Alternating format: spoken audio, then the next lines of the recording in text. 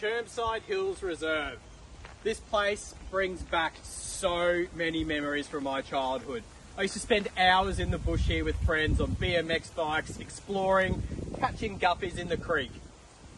I can't wait to share these memories with my own family as I currently live in McDowall as well. It's a beautiful place to live and I suggest you check it out.